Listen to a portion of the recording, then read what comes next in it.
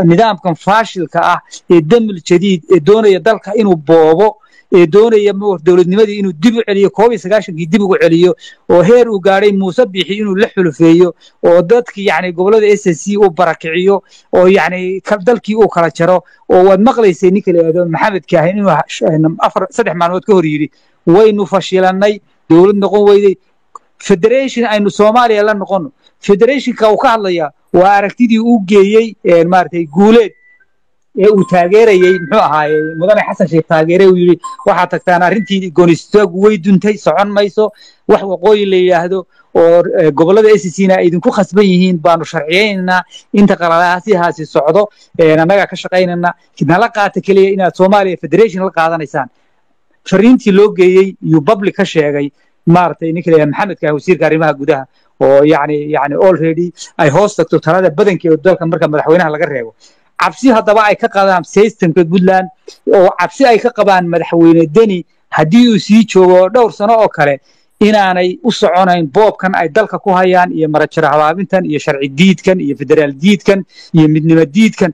Waxaanay isku dudeen oo dhan inaanay soconayn ee ay helaan yani cid muxuu ahay puntland majaraheeda qabata oo la mid noqotay stateska kale ee xamar iska jooga xoogaaga marba ay u tuuraan ee siyaasadahooda ku socodsiiyaan ee aan choiceka lahayn oo aan dadkoodana waxay doonayaanna ka turjumi karin iyaguna aragti siyaasadeed lahayn.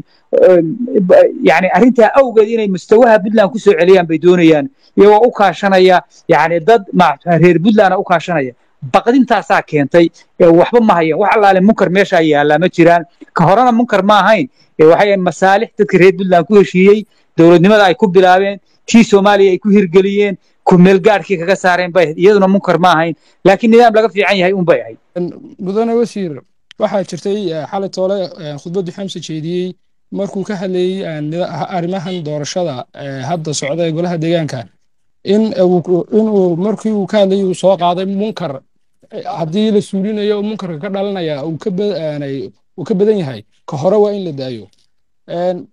Maxay tahay sababta ay ku durayaan xasan iyo iyo xukuumaddiisu ama ra'iisul wasaarihiisu ay ku durayaan nidaamkan doorashada hadda qof iyo codka ah oo ah nidaam ay bulshada soomaaliyeed in badan u baahi qabtay caqabado badan oo dadka soomaaliyeed inay rabitaankooda iyo codkooda ay ku meel marsadaan cidda hogaankooda ahna ay ahayd rijaay ku taamayeen maxay tahay sababta ku kelifisa maamulka federaalku inay arrinkaas idinku qoonsadaan oo idinku dhaliilaan weliba ereyadii xalay markuu ka hadlayay ra'iisul wasaaruhu adeegsanada ay ahaayeen ereyaad adag. Maxaa ku kelifay baad odhan kartaa?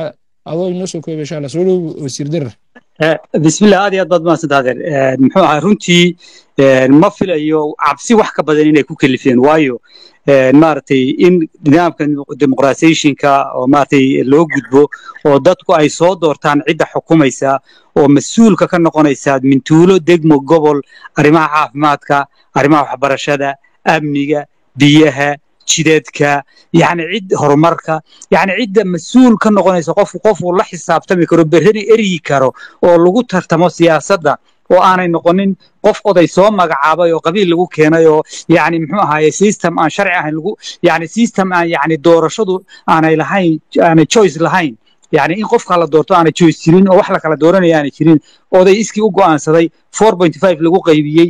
Yani inay ka fiican tahay inay dad mujtamacu codkooda ku doortaan qofka ay doonayaan iyadoo weliba lagu tartamay oo aragti lagu tartamay oo karti iyo aqoon lagu tartamay. Sababta ay uga baqeen oo munkar ugu yani inay taasi timaado munkar ugu sheegeen yani waa cabsi ay ka qabaan dowladda puntland institution ay leedahay. Yani karti u yeeshay saddex degmaa la tijaabiyey oo doorasho laga qabtay oo maanta golaheedii deegaanku uu shaqaynayaa oo lagu wareejiyey iskuulladii oo lagu wareejiyey biyihii oo lagu wareejiyey amnigii oo lagu wareejiyey caafimaadkii iyagoo msjadii maamulayaan. Yani already tijaabada waa la qaday beesha caalamka oo soomaaliya dowladnimada inay soo noqoto maaragtay ka taageeraysaan way ku qanacday nidaamkaasi inuu sax yahay. Yani arrin tusaale soomaaliya oo dhan u noqon lahayd oo looga dayan lahaa bay noqon lahayd qof iyo cod in looga gudbo. Haddii laga guulaysto khawaarijtu dalka laga saaro oo dalku ammaan noqdo yani sababtay arrintaa ku keliftay baan kuu sheegayaa. Waa simbali waxa weeye cabsi waxay ka qabaan dowladda puntland oo institutionada adag leh oo dad dowladdeedu xisaabtamayso oo dadku dowladda la xisaabtamayaan.